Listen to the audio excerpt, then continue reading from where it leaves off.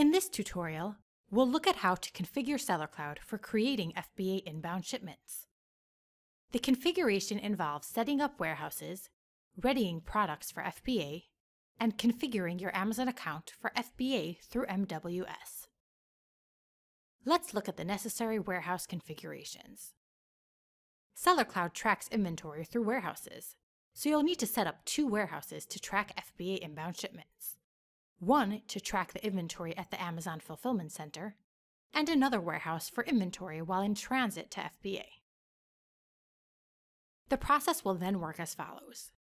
When the items are added to a shipment, their quantity becomes reserved in the regular warehouse.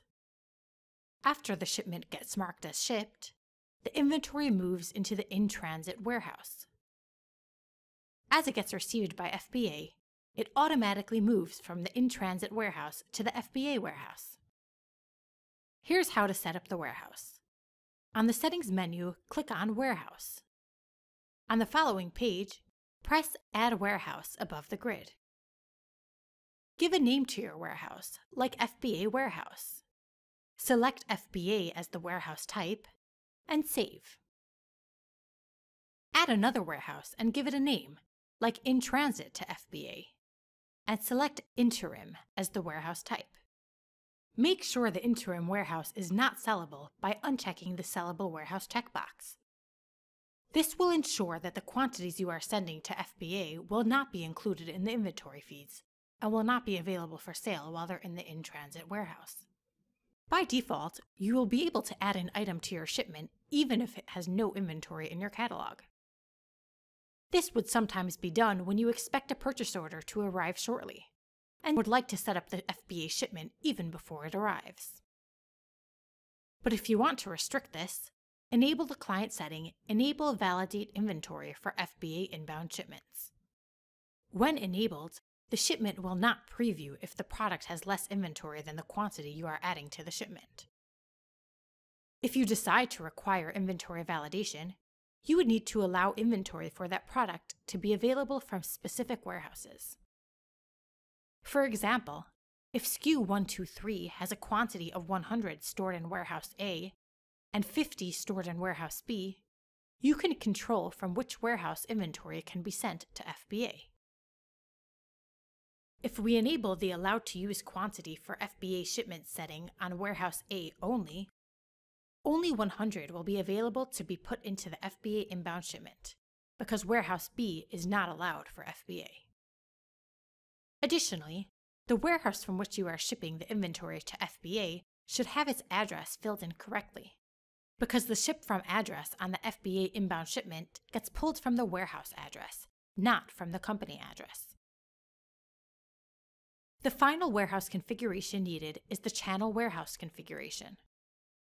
Open the Company Settings toolbox and scroll down to Channel Warehouse. On this page, locate the FBA channel row.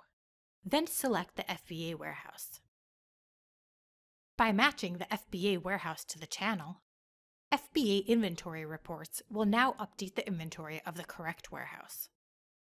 Now let's look at how to ready products for shipping to FBA. Just like creating a shipping plan on FBA, the items added to the FBA inbound shipment need to be in your catalog as a Fulfilled by Amazon product. On the Amazon Properties page, check here if the product is set as Amazon Fulfilled. If it's set as Merchant Fulfilled, open the Action menu and select Change Fulfilled By. If the product has already been posted to Amazon, press Change and update Amazon. If the product has not been posted to Amazon, press Change and Do Not Update Amazon. Then, launch the product to Amazon as an Amazon fulfilled product. In either case, it can take up to 15 minutes before Amazon processes your product and puts it into FBA inventory. By default, new items that are created in SellerCloud will be created with a merchant fulfilled status. However, this can be controlled using the following Amazon setting. Open the toolbox and hover over Amazon settings. From the submenu, select Product Defaults. On the Fulfilled By dropdown, select the default Fulfilled By status. The Fulfilled By status is also displayed on the Manage Inventory grid.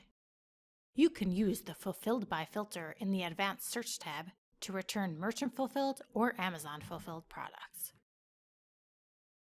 To update multiple products as fulfilled by Amazon, select the products on the Manage Inventory page.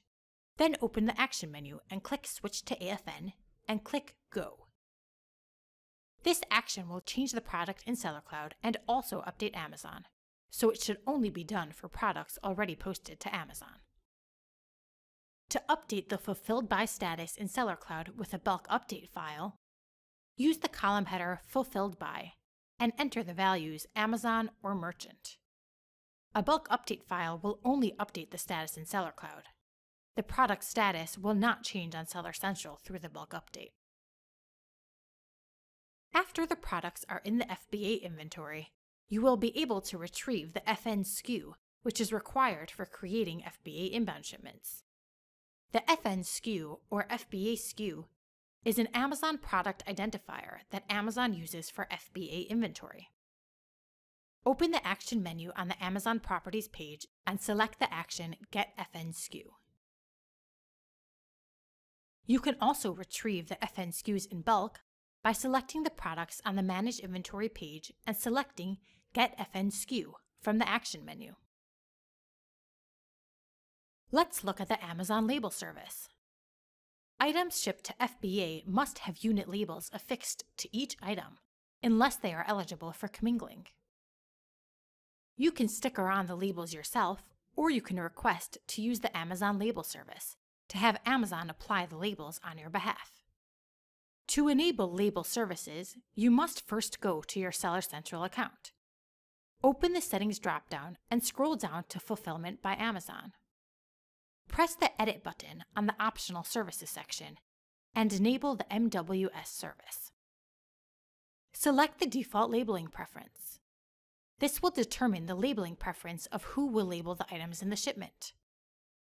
The first option is that Amazon should label the items and reject items that cannot be labeled. Be aware that Amazon charges a fee per item for labeling. The second option is that FBA should label my items. However, I will label my items as necessary. This means that Amazon will label any items that you have not labeled. The third option is I will label my items. This means that you will label your items, and Amazon should reject any items that are not labeled. These three options only apply to items that require labeling. This sets the default labeling option, but it can be overridden on each shipment individually. For more information on readying SellerCloud for FBA or creating an actual FBA inbound shipment, please visit wiki.sellercloud.com.